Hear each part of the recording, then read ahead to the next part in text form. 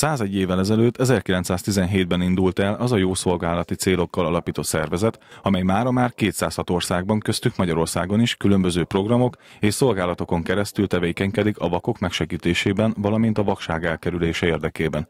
Az első Nyíregyházi Lions Club, azaz, ahogy sokan nevezik őket, a vakság elleni küzdelem lovagjai, Nyíregyházán sem tétlenkednek. Április 13-án szűrővizsgálatokkal és kulturális programokkal várnak mindenkit a Kossuth térre. Mi úgy döntöttünk, hogy ezt a programot mi megtartjuk, és minden évben megszerveztük, és, és kialakult az a rendszere, ami most is látható majd, hogy hogy a kórház segítségével, ugye mi a József András kórházzal a kezdetektől kapcsolatban vagyunk, mindig a bálunk bevételét a kórház személyzetének és más részlegeinek ajánljuk föl.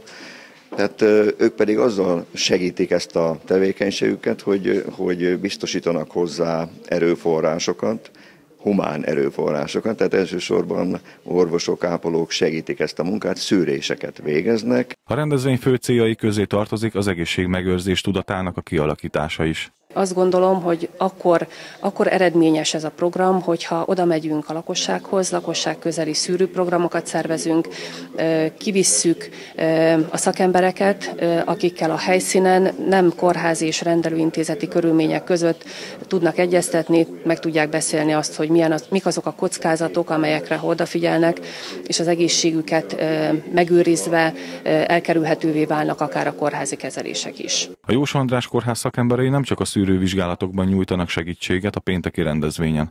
Ha valakinél bármilyen komolyabb egészségügyi probléma merül fel, akár előjegyzéssel, időpont egyeztetéssel tudják segíteni a betegek terápiás stratégiájának felépítését. A Kossuth téri programon számos egészségügyi szakterületről érkeznek orvosok és ápolók is. Dr. Jenei Péter arcüregszűrő vizsgálatot végez ultrahanggal.